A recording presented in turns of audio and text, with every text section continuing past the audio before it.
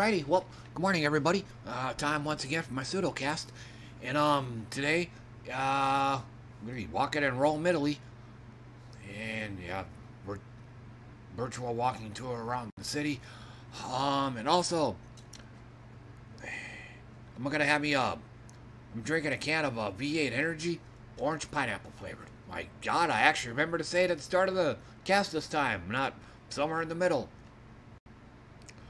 Okay, but otherwise, I I don't really have a whole I don't really have a whole lot. I didn't really do a whole lot last night. Um, just uh, I watched uh, I watched the uh, third episode of Dragon Ball, and once again, this show really skirts the line between rated PG and rated R. God damn it. Okay, well if it's if it's just this, I guess it's okay. Just telling you what it is.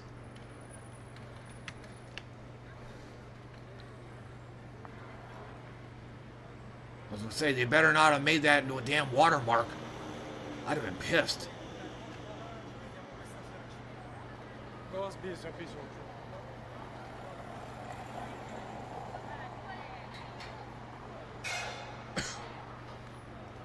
oh, selfie stick.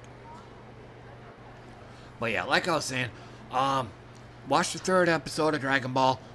And, uh, yeah, once again, uh, there's a lot of gray area in this one. There's a, there's a few rather naughty moments in there.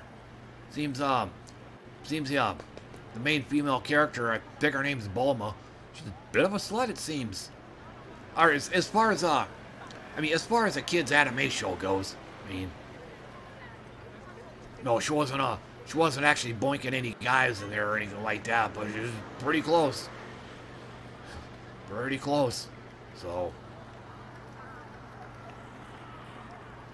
Pretty, yeah, but pretty interesting stuff. Uh, still playing, uh,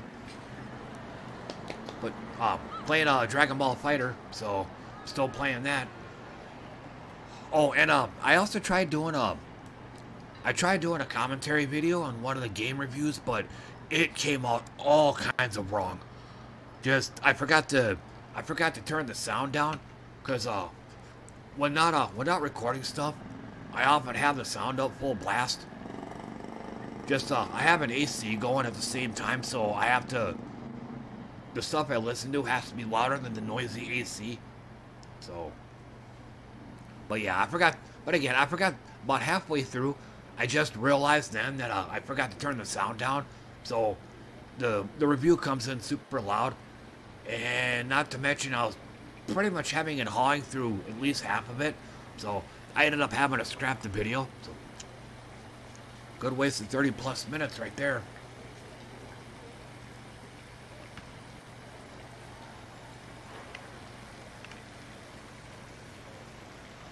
Oh, and um, I forgot to and I forgot to also, I forgot to mention at the start of the cast, I don't know how long I'm going to keep saying this, but uh, for those that have seen my previous cast, I'm definitely going to be repeating myself here. Um, recently, one of my one of my cast videos was copyright claimed, so I had to delete it immediately because I don't. I'm not gonna mess around trying to appeal it or anything like that. It's just not worth the time. And plus, uh, plus even then, the guys that uh, the people that actually do the uh, copyright claiming the people that actually do the copyright claiming is not YouTube themselves. It's um, it's the people that you've offended. And uh, I believe uh, when you appeal a claim, the ones you're going to be dealing with are the ones that actually filed the claim. I think uh, the, the uh, YouTuber Emperor Lemon, he was complaining about the same thing too. It's uh, so you get a claim, you get a claim on your video, and you try to appeal it. The ones you're trying to appeal appeal it to is the ones that filed the claim to begin with. Like, no, the no, the final arbiter should be YouTube. Not, I mean, not the claim filer. So yeah, that's kind of bullshitty right there. I mean, YouTube should have the final say.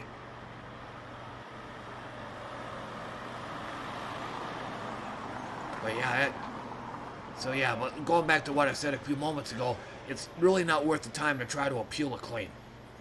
And uh, oftentimes with the, especially with the cast videos I'm doing, it's pretty much gonna be all the footage on that on that video that's gonna get claimed anyway. So,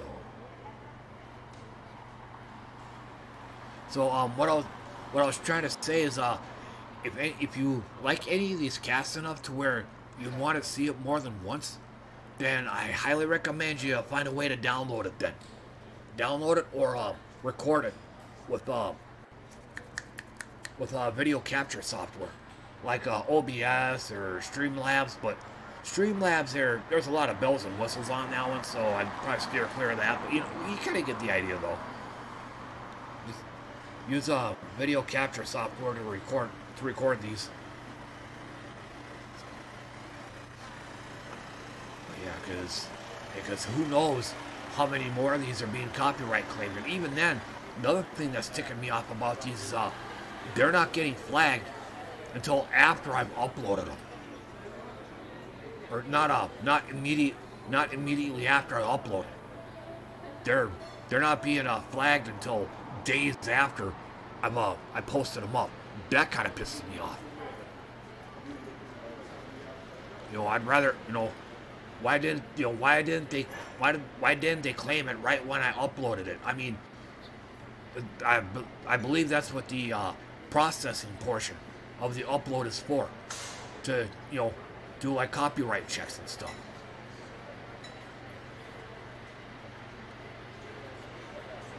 But no, not, but no, this time around I decided to wait till several days after I upload it.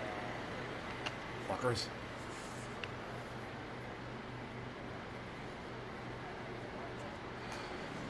But, uh, but anyway, just, but again, I might I might continue to say this. I don't know.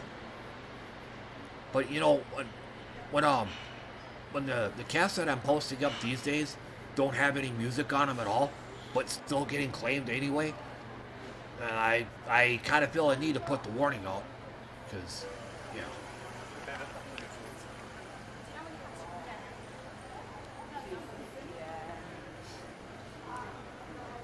Uh, yeah. Hello. Uh.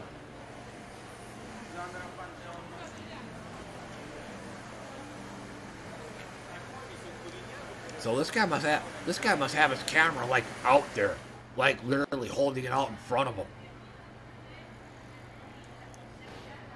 Yeah, that's not yeah, that's not creepy at all.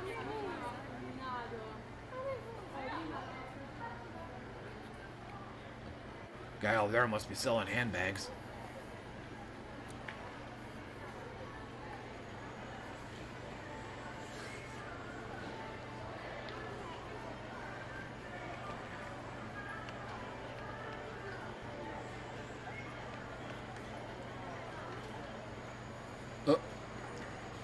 Changing scenes way too often, too.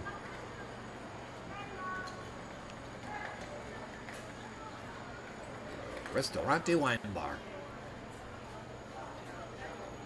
But yeah, like, but yeah, what basically what I was trying, basically what I was trying to say on that commentary video about the review for uh, Dragon Ball FighterZ, um, it's um, it's what it's definitely a simple to learn but hard to master game.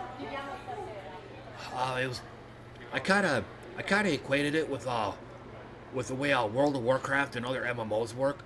Um, like so, like the class, there's like this, um, there's this axis between complexity, complexity and awareness. Like if you, uh, if you have a class that's not very complex at all, real easy to play, um, it makes up for that by uh, requiring you to be aware because those uh, easy to play classes are often uh, capable of healing and team support, that kind of thing. So you have to, uh, you might not have to push very many buttons, but you have to be aware of what of uh, of your team members and um, you know what kind of problems they're having, and if so, you might have to jump in and help them, that kind of thing. So you gotta have good awareness. Then you have on the other side of the spectrum, you have uh, classes that are very complex to play like you're practically playing a piano, but on the upside, they're all their they're um they're all selfish.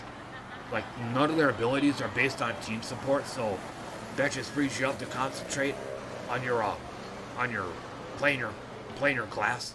So I, I kind of see uh, Dragon Ball FighterZ as the same thing. Um, in and of itself, the game isn't that complex, but uh, it's also a team-based game where you also have uh, you have uh, two other players that you have to fiddle with as well. It's uh, it's generally it's a three-on-three fighting game, so you basically have to be in three different places at once. Or let me let me rephrase that. You have to.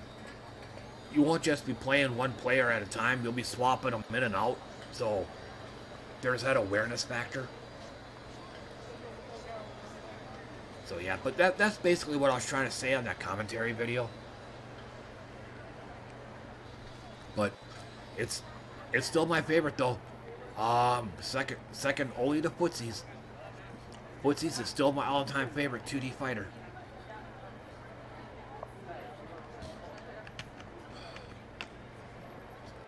But um, but as I said at the start of this cast, I didn't really do a whole lot, so I this time around I don't really have a whole lot to say. So I don't instead of trying to force the issue, trying to force me to say talk about something else for four minutes to get to my 15 minute cutoff, I'll just go ahead and just cut it off here then. So, um, but thanks for but thanks for tuning in and listening to me, everybody. I appreciate that. And um, I should be able to do another one of these tomorrow morning. So, but until then, thanks again for dropping by, everybody. See you all next time.